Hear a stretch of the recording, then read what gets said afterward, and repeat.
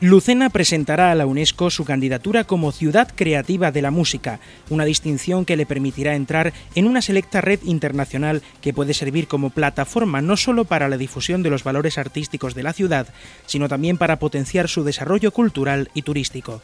Bajo el título de Armonía para la Tolerancia, la Delegación Municipal de Cultura se encuentra ultimando un complejo expediente donde se reflejan las 10 sorpresas musicales de la ciudad, así como una agenda estratégica dividida en seis ejes que relacionan directamente a la música con la tolerancia, el entorno urbano, la educación o el turismo. Esa es la agenda turística de Lucena, es una agenda yo creo que ambiciosa, yo creo que ilusionante, pero también realizable, no es eh, una carta a los Reyes Magos, no es un castillo de naipes, no es algo que le peguemos un papirote y se vaya a caer, está muy sólidamente asentada con convenios ya firmados con algunas instituciones, con inicio de convenios.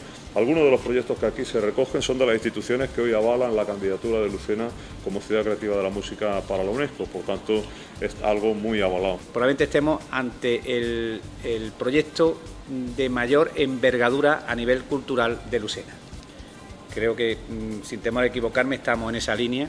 Sabemos hacia dónde queremos caminar, no sabemos si vamos a llegar o no vamos a llegar a la primera, a la segunda o la tercera, pero sí tenemos claro dónde queremos llegar. Nosotros ya tenemos un proyecto para Europa, un proyecto de sostenibilidad, un proyecto de educación y un proyecto de cultura que además viene mancomunado con 14 municipios. Entonces, estamos en una disposición excepcional para que Lucena se conozca cultural y turísticamente, no solamente ya en España, sino en todo el mundo.